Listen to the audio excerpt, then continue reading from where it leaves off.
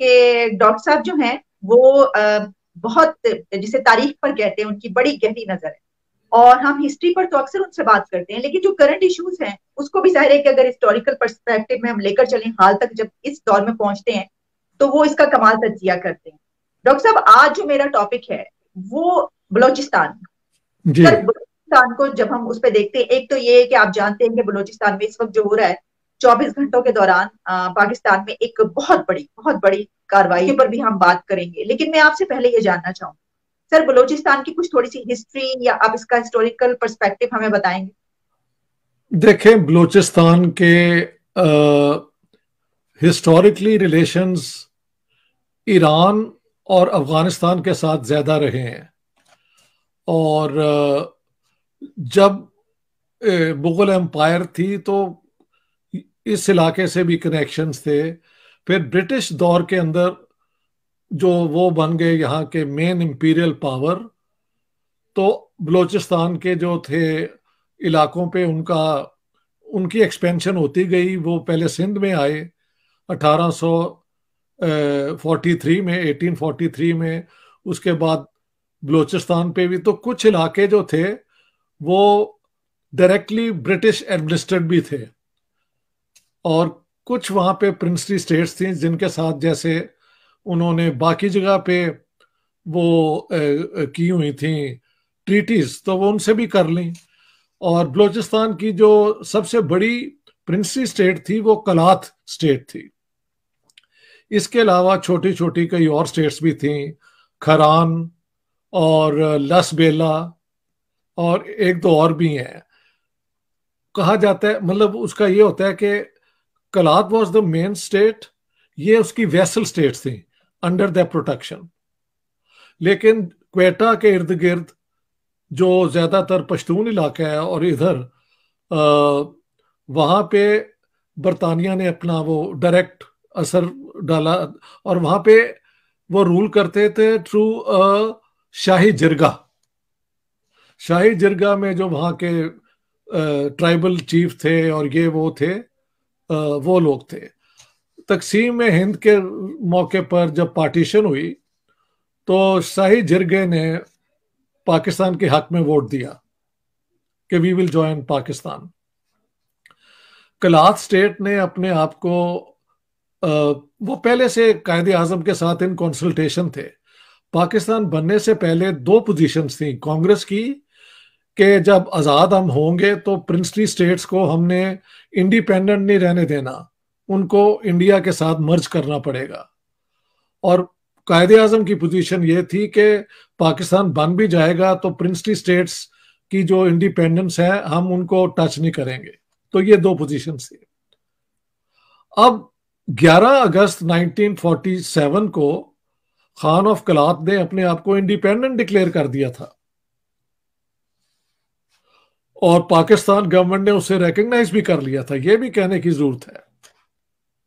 लेकिन जब पार्टीशन हो गई, चौदह और पंद्रह की रात को, और ब्रिटिश ट्रांसफ़र ऑफ़ पावर हो गया, और बरतानिया वहाँ से विदड्रॉ कर गया तो फिर दोनों तरफ़ कोशिश हुई कि प्रिंसली स्टेट्स को कन्विंस किया जाए किया जाए कि वो जम हो जाए इंडिया के अंदर या पाकिस्तान के डिपेंडिंग ऑन वे देवर तो पाकिस्तान पे फिर जना साहब जब मिले खान ऑफ़ कलात को उन्होंने कहा बात सुनो I strongly advise you to now sign the instrument of accession accession joining Pakistan which the Khan was not happy at all about लेकिन by March 1947 he was literally cajoled into doing it क्योंकि हुआ क्या था? पाकिस्तान ने ये जो थी ना लसबेला और ये छोटी स्टेट्स इनके हम्म। खान को कन्विंस कर लिया था कि आप पाकिस्तान ज्वाइन कर जाए। आपके जो वो है ना प्रिविलेजेस उनको हम रिस्पेक्ट करेंगे।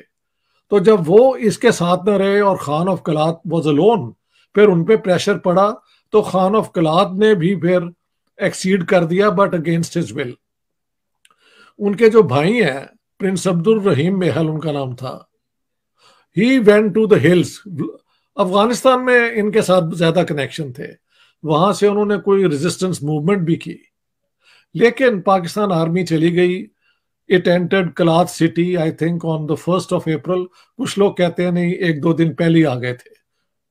तो उसके बाद सारा बलोचिस्तान पाकिस्तान में आ गया।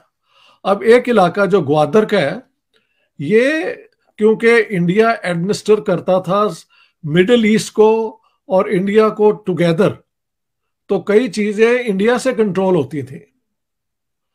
तो वो जो ओमान की स्टेट है, उसको शायद ये कलात बरतानिया ने एक लीज पे दे दिया था, या लीज, या उसको बेच दिया था। The actual details one can always check, ठीक है? लेकिन वो फिर पाकिस्तान के जब बन गया तो महल फिफ्टीज के सेकेंड हाफ़ में when Feroz Khan Noon was prime minister of Pakistan तो उन्होंने नेगोशिएट करके ओमान से कलात को ए, वो ग्वादर को वापस ले लिया और वो पाकिस्तान का हिस्सा हो गया। So this is the complete Balochistan now Gwadar was only a fish fishing village जब तक के ये पाकिस्तान और चाइना की रिलेशनशिप ज़्यादा ज़्यादा क्लोज नहीं हुई। हाँ जी, जी। और चाइना ने और ये पाकिस्तान ने सेपेक की जो 46 बिलियन की एग्रीमेंट्स की और ये और वो तो चाइनीज़ वो उसका फ़ायदा ये है कि चाइना को वरना पूरी साउथ वो सी से होते हुए साउथ चाइनीज़ होते हुए अपनी गुड्स को ला के दुनिया की मार्केट में लाना पड़ता था। अब काराकोरम के उधर से अगर वो जैसे अब रास्ता निकाल ही लिया है ना। वहाँ से अगर उनके ट्रक आने शुरू हो जाए तो 48 घंटे में पता लगता है कि वहाँ से शुरू हो हम्म। सिंह कैंग से और वो आ सकते हैं ग्वादर के अंदर so from there the goods can be transported then easily onwards to the Middle East and Central Asia and into Europe. तो उसकी जो इम्पोर्टेंस है बहुत बढ़ गई है और वहाँ पे फिर बहुत इन्वेस्टमेंट भी हुई है चाइना की। पाकिस्तान की भी बहुत इन्वेस्टमेंट है। इसमें प्रॉब्लम क्या है? पाकिस्तान बनने के बाद बलूचिस्तान के अंदर जो निज़ाम था ना, वो सरदारी निज़ाम था। सरदारी निज़ाम के अंदर कुछ जो उनके थे ना रेडिकल खान जो हैं, वो प्रो कांग्रेस हुआ करते थे और थोड़ा क्योंकि वो सोशलिस्ट नेहरूवियन सोच के साथ उनकी कनेक्शन बनती थी। हम्म।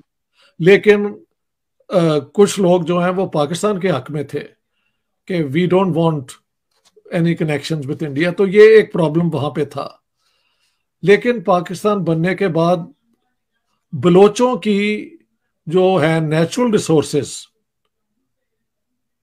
उनको पाकिस्तान ने इस्तेमाल किया मसलन सुई गैस जो वहाँ पे शुरू निकली, वो सारे कराची, लाहौर तक पहुँची, इस्लामाबाद तक पहुँची। सेंट्रल हीटिंग और ये वो सारी उससे हुई। लेकिन उसमें से जो होता है ना रेवेन्यू जिस प्रोविंस से वो अपना इनकम हो रही होती है, वो बलोचों का ये एक कंप्लेंट रहा है कि हमें कभी नहीं दी गई वापस।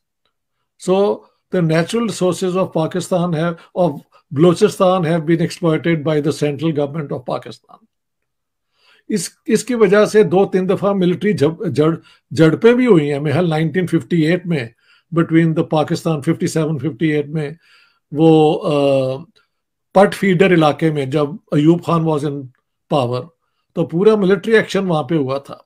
फिर 73 में भुट्टो साहब का और बलोच लीडर्स का झगड़ा भी हुआ। अच्छा बलोचिस्तान की जरा एथनिक कॉम्पोजिशन आप देख लें। नॉर्दर्न बलोचिस्तान जो है वो पश्तून है। Okay. और सदर्न बलोचिस्तान जो है वो बलोच है। बलोच पॉपुलेशन जो है बलोचिस्तान की वो 37 38 परसेंट है। और बाकी पर पश्तून है जो कुछ लोग कहते हैं ज़्यादा है बलोचों से but this can it is always debated और कोयटा और इन इलाकों में थोड़े से पंजाबी और उर्दू स्पीकिंग भी सेटल्ड है। तो बलोच आर द बलोचों के अंदर भी दो कम्युनिटीज हैं। एक तो है Balochi speaking Balochi speaking is close to the Indo European languages लेकिन एक ब्राही स्पीकिंग भी है। और ये आज तक फैसला नहीं हो सका कि ब्राही ज़ुबान बलोचिस्तान में किस तरह रह गई जबकि ये सारी फिर हिंदू बाकी इलाकों से गायब हो गई। हमारे इलाकों में तो Indo European languages Punjabi Urdu Hindi ये संस्कृत से ड्राइव्ड लैंग्वेजेस हैं। साउथ इंडिया की जो लैंग्वेजेस हैं तमिल तेलुगु मलयालम कनाडा ये चार जो हैं ये हैं द्राविडियन लैंग्वेजेस लेकिन वहाँ से अगर एकदम आप आ जाए बलूचिस्तान में तो हम्म। एक इलाका है जहाँ पे ये ब्राहुई लैंग्वेज बोली जाती है okay. मेरी अपनी थेरी ये है कि जब हमले हुए लोग आए तो ये हम्म। कोई इलाका होगा जिसको उन्होंने ज़्यादा अटेंशन नहीं दी वहाँ पे वो पुराने लोग रहते रहे क्योंकि साउथ से हमले नॉर्थ की तरफ़ तो नहीं हुए ना ही साउथ से लोग नॉर्थ की तरफ़ कभी आने की कोई हिस्ट्री है? ये आर्या लोग आर्या स्पीकिंग लैंग्वेजेस जो आने से पहले यहाँ पे ड्राविडियन लैंग्वेजेस होती थी। हम्म। पंजाबी के अंदर भी और ये जो है ना ड़े हम बोलते हैं ये ये सारे डा डे जो है ये हम्म। सारे साउंड्स ड्राविडियन है जो हमारी जुबानों में आ गए हैं।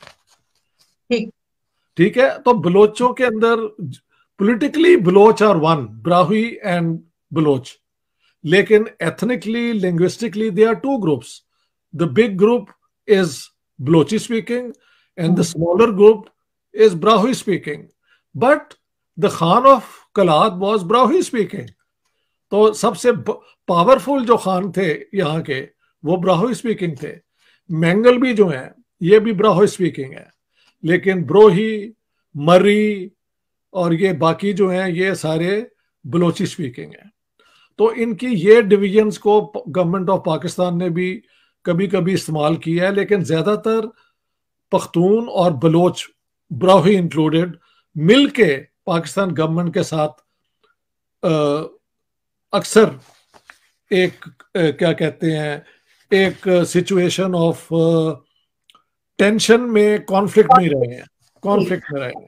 डॉक्टर साहब बैकग्राउंड आपको बता दी जी जी आपने बड़ी तफसीली उसके ऊपर रोशनी डाली कि क्या इनका बैकग्राउंड है और किस तरीके से हम बलोचिस्तान का अगर एक हिस्ट्री जानना चाहें तो हमें वो पता चल गई। मेरा आपसे सवाल ये होगा सर ये क्या ये जो करंट इशू भी इस वक्त चल रहा है मतलब हम तो हमेशा से ये सुनते चले आ रहे हैं देखते चले आ रहे हैं कि बलूचिस्तान में ही हो रहा है इस वक्त वहाँ पे ये मामला है और वहाँ पे जो है वो इस तरह के लोग जमा हो रहे हैं वहाँ से जो है दहशत गर्दी हो रही है वहाँ पे बागी इकट्ठे हो रहे हैं।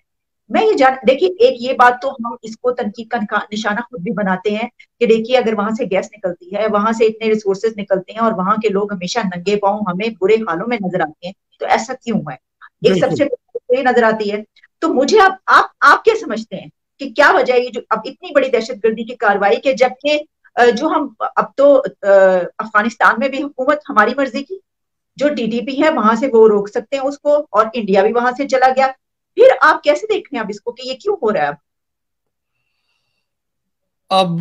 देखे, ये क्यों हो रहा है, ये तो मैं कह नहीं सकता क्योंकि नाइन, टू थाउज़ेंड सिक्सटीन से ऑनवर्ड्स तो ये कॉन्फ्लिक्ट चल ही रहा है और वहाँ पे बलोचिस्तान लिबरेशन आर्मी और बलोचिस्तान लिबरेशन फ्रंट ये दो ऑर्गेनाइजेशन है।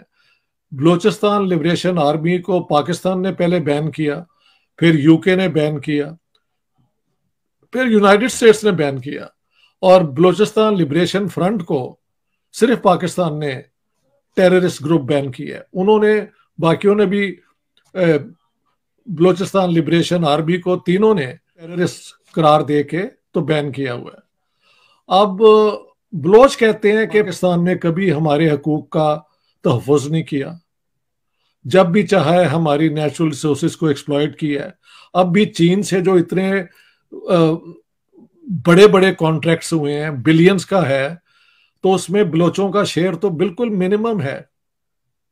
यानी ग्वादर सिटी में मुझे किसी ने बताया since I have not been there कि बलोचों की एंट्री वहाँ पे बंद है। तकरीबन नहीं है। तो अगर ये वाकई हालात हैं तो ग्रीवेंसिस तो बलोचों के पाकिस्तान के खिलाफ है ना। अब पाकिस्तान का पॉइंट ऑफ़ व्यू क्या है? पाकिस्तान का पॉइंट ऑफ़ व्यू है कि हमने कोशिश की वहाँ पे स्कूल बनाने की रोड्स बनाने की, लेकिन ये जो बलोच हैं, जो अपने अवाम को नीचे रखना चाहते हैं, ये उनको सेबोटाज कर देते हैं स्कूल नहीं खुलने देते। एक हद तक ये कहीं ना कहीं सच भी होगा, क्योंकि बलोच लीडर्स के सामने जब उनके आम लोग आते हैं तो उनके साथ आँख नहीं मिला सकते। You have to look down पख्तूनों के अंदर जो उनके मलिक होते हैं, उसके सामने आम बंदा भी बैठता है और आँख में आँख मिला के बात करता है और कहता है, ये मेरा हक है, तू ये नहीं कर सकता। This has not been the case in Balochistan. वो ठीक है, बाद में बलोच बलोच डॉक, पढ़ लिख गए, उनकी एक इंटेलिजेंसी आई। उन्होंने अपनी इंडिपेंडेंट पोजीशंस भी बना ली हैं। समझ गए आप? तो ये बैकग्राउंड है। और जो ये ऑर्गेनाइजेशन हैं ये वो चाहती हैं कि पाकिस्तान के साथ उनका रिलेशनशिप खत्म हो जाए और वो एक अपना आज़ाद मुल्क बनाना चाहें चाहते हैं। सिंपल एज मेरा सवाल आपसे यहाँ पे ये होगा कि देखिए बेशक वहाँ पे जो आप कह रहे हैं कि वहाँ पे ज़ाहिर है कि जो उनके लीडर्स हैं जो ये बलोच वो होते हैं कबायली और ये सब ये तो क्यों ये ये चीज़ तो सिंध आप अंदरून सिंध चले जाइए वहाँ पे भी है। आप अंदरून पंजाब चले जाइए कोई भी वडेरा कोई भी जमींदार कभी ये नहीं चाहता कि उसके साथ उसके नीचे बैठने वाला ज़मीन पर बैठने वाला उसका मुदारे उसका कमी कमी वो उसके पढ़ ले लिख ले और वो उसके आ जाए। मुनासिब बात है आपकी ठीक है। ले, लेकिन ये रिस्पॉन्सिबिलिटी तो स्टेट की रियासत की और हुकूमत की होती है। नहीं मैंने आपको दोनों पॉइंट ऑफ़ व्यू इस, इसलिए बताए थे कि उसके बाद हम डिस्कस कर सकेंगे कि दुरुस्त यानी मुनासिब क्या है। मुनासिब तो ये है कि अगर बलोचिस्तान में ये सारी डेवलपमेंट हो रही है और वो इतना इम्पोर्टेंट है ये चाइनीज़ एंटरप्राइज के लिए बेल्ट एंड रोड ये सारा तो बलोचों को उसका फ़ायदा पॉजिटिवली होना चाहिए ना और नज़र आना चाहिए अगर वो नज़र नहीं आ रहा तो हम्म। जो फोर्सेस पहले से ही ना खुश हैं पाकिस्तान से उनके साथ लोग चले जाते हैं हम्म। मैं ये कह रहा हूँ पाकिस्तान की dealing with Balochistan has never been fair ये मुझे कहना चाहिए। आप क्या वजह समझते हैं कि डीलिंग क्यों फेयर नहीं? असल में तारीख में जब एक दफ़ा इस, इस किस्म की चीज़ें शुरू हो जाती हैं तो उनकी एक अपनी वो क्या कहते हैं जीनियोलॉजी एक क्योंकि बलोचिस्तान को इन्होंने बाय फोर्स एक्वायर किया था इन्होंने कोई उनके साथ अच्छा सलूक नहीं किया। तो वो एक इंटेलेक्चुअल्स के अंदर उनके जो यानी एक दफ़ा भूख नंग से जब आदमी आज़ाद हो जाता है तो वो फिर सोचना शुरू कर देता है। उनके सोचने वाले लोग कहते हैं कि यार, हमें तो एज अ कॉलोनी हमें बलोचों को कभी इन्होंने माने ही नहीं कि ये पाकिस्तान के सिटीजन हैं। पाकिस्तान गवर्नमेंट कहती है, नहीं जी, हम तो पता नहीं ये कर रहे हैं, ये इन्वेस्टमेंट कर रहे हैं। लेकिन ग्वादर के ऊपर और इधर बलोचों को जो फ़ायदा होना चाहिए था, वो नहीं हुआ। मैंने कई लोगों को कंसल्ट किया है। वो यही कहते हैं कि बलोच ग्रीवेंसेज आर जस्टिफाइड अब पाकिस्तान गवर्नमेंट को क्यों समझ नहीं आती? I have no way of explaining कि उनका माइंडसेट कैसे काम करता है। हम्म। अच्छा डॉक्टर साहब, आपसे एक आखिरी सवाल मेरा ये होगा कि हम ये देख, जिस तरह वज़ीर दाखिला जो है, वो आए, उन्होंने कहा कि देखिए, इनको जो मतलब जो इनकी बैकबोन है वो हम देख रहे हैं जो इनको चलाने वाले हैं, अफ़गानिस्तान में और भारत में और ये बैठे हैं और वहाँ से चलाए जा रहे बात सुने, इंडिया के ऊपर ये इल्ज़ाम लगाना is taken for granted we say give us the proof वो एक बंदा इन्होंने पकड़ा है, उसी का केस पूरा कोर्ट के अंदर ला के तो प्रूव नहीं कर सके ना। सजाए मौत जो उसको इन्होंने दी थी, वो आज तक कैरी आउट नहीं की। अभी तक इंटरनेशनल कोर्ट ऑफ़ जस्टिस में वो केस चल रहा है। जैसे भी वो हम पहले मैं उस पर लिख भी चुका हूँ। हम्म। तो आ, इंडिया को ब्लेम कर देना is very easy. All you need to do is to issue a statement. मुझे याद है एक हमारे फाइनेंस मिनिस्टर थे जो वर्ल्ड बैंक की तरफ़ से आए थे। I don't want to name him वो he was in the cabinet जब कोई धमाका हुआ था। तो कहते हैं मैं कैबिनेट मीटिंग में था। तो एकदम मिनिस्टर्स ने कहा कि जी इंडिया पे डाल देते हैं। तो मैंने कहा don't do it first check कि ये वाकई इंडिया ने किया या नहीं किया. बाद में पता लगा कि इंडिया का उसके साथ कोई ताल्लुक नहीं है। और ऐसे जैसे आप बता रही हैं अब तो अफ़गानिस्तान के अंदर जहाँ से अलेजेडली इंडिया इंटरेक्ट बलोचिस्तान में एक्टिव था वो तो, तालिबान के होते हुए उनकी तो छुट्टी हो गई होगी। अगर हम्म। कुछ हो रहा है तो तालिबान गवर्नमेंट कर कर सकती है इस इलाके में that I can understand but not the Indians any more उनकी तो उनको तो वहाँ से उन्होंने एलिमिनेट कर दिया है। So the Indian Indian hand at the moment cannot be cannot be alleged हाँ अगर ये लोग जाके दिल्ली में फाइनेंसिंग करवाते हैं करते हैं उसका तो हमें पास हमारे पास कोई तरीका नहीं है ना। पाकिस्तान गवर्नमेंट कहती है कि इंडिया स्टिल बैकिंग इट हो सकता है ये फैक्ट भी हो। लेकिन डॉक्टर साहब इससे भी बड़ा सवाल ये है ना कि अफ़गानिस्तान में तो हुकूमत को रोकना चाहिए ना जो कह रहे हैं कि कलदम जो है वहाँ से यहाँ पे करे डीटीपी तो वो तो हमारे कहने पे क्यों नहीं रोक रहे उसको? उनका पाकिस्तान के साथ कई झगड़े हैं उन्होंने फेंस बना बना जो बना रहे थे ये या लगा रहे थे they are not happy with it यानी हुकूमत जो है तालिबान वो बड़ी अनप्रिडिक्टेबल है। और उसके अंदर कई असल में हुकूमत एक होती है उसके अंदर फैक्शंस भी तो होते हैं ना। ऐसे ही तो ये कोई फैक्शन ऐसा होगा जो इस सारी सिचुएशन में खुश नहीं है वो करवा सकता है। इट्स इट्स वेरी पॉसिबल ठीक ठीक ठीक। डॉक्टर साहब तो ये कहना चाहिए हमें कि ये जो। अब हुआ है एक्ट और इतने लोग मारे गए हैं हाँ, हाँ। ये एक्ट ऑफ़ है हाँ। और इसको कंडेम हमें करना चाहिए।